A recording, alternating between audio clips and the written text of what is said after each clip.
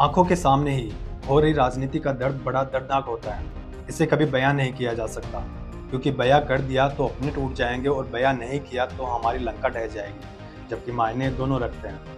कुछ ऐसी ही राजनीति राजस्थान के गलियारों में होने जा रही है, जहाँ घर में ही एक ऐसा सियासी खेल खेला जा रहा है, जहाँ यह नहीं पता चल रहा कि एक ही तीर से कितने निशाने लग रहे हैं और कौन सी तीर से किसको निशाना बनाया जा रहा है और निशाना बन कौन रहा है।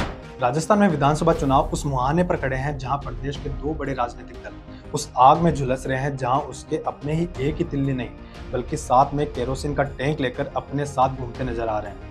ये बातें लोगों की जबान से तब निकली जब उन्होंने राजनीति के मंच पर पिछले दिनों वो आग देखी जिसमें भारतीय जनता पार्टी की दो बड़ी नेत्रियाँ इस कदर जलती नज़र आ रही है कि जिसमें किसी को नहीं पता कि इस आग में से पहलाद बनकर कौन निकलेगा।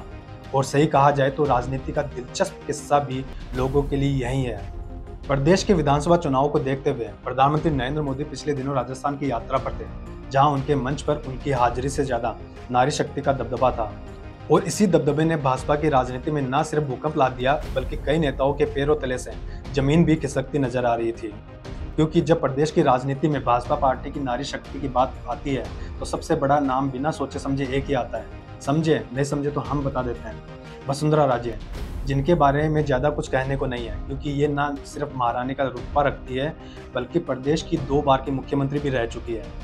लेकिन उस दिन प्रधानमंत्री नरेंद्र मोदी के मंच पर इनका वजूद ऐसा नज़र आया, जैसे इन्हें कोई खाने की कोशिश कर रहा है। इनको खाने की राजनीति के पीछे कई कयास लगाए जा सकते हैं, पर एक कयास बाकी इन सब कयासों पर भारी पड़ रहा है, जिस कयास को एक नाम भी दिया जा रहा है, और हमने उसका नाम भी ले लिया और आपको पता भी नहीं चला। आगे पता चल जाएगा।